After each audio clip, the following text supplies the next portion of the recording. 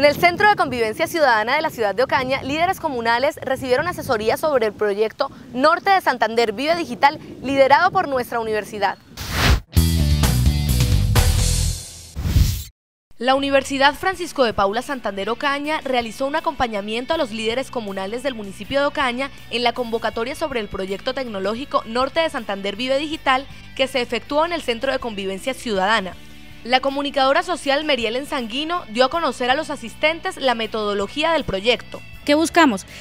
Que a partir de ellos, que son los voceros de esas comunas, repliquen el proyecto, lo cuenten y que las personas se vean cada vez más interesadas en capacitarse con este nuevo proyecto que trae para el departamento que se llama Norte de Santander Vive Digital. En la población ocañera, los entes encargados del proyecto están en la fase de conferencias a la comunidad, en la cual explican todo el proceso, objetivos y metodología del proyecto que se encuentra enmarcado en el Plan Educativo de las Tecnologías de la Información y la Comunicación del Gobierno Nacional que se imparte en diferentes departamentos del país. Toda la comunidad ha querido capacitarse en primer lugar para aprender más, ser personas más útiles para la sociedad para tener eh, acceso al Internet, a muchas cosas que está brindando el proyecto.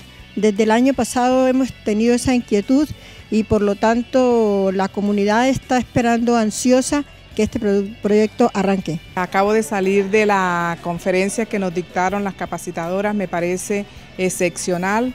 Nunca había estado en, el anterior, estuve ahorita Mm, es algo que el gobierno nacional está implementando no solamente a los líderes comunales, sino también a los centros educativos y es algo que me parece demasiado importante y no debemos este, echar atrás lo que estamos aprendiendo. Cada día debemos aprender y aprender las cosas que nos está regalando el gobierno porque el gobierno nos pone las cosas y nosotros las tenemos que aprovechar.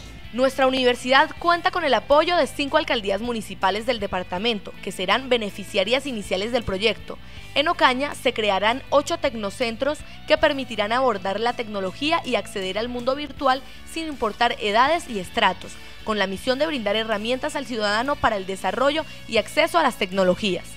Inicialmente se tienen planteado para el municipio de Ocaña ocho tecnocentros, en los cuales contempla Tecnocentro de La Piñuela, Tecnocentro de Bellas Artes, Policafé, La Primavera, Madre Leticia, Cristo Rey.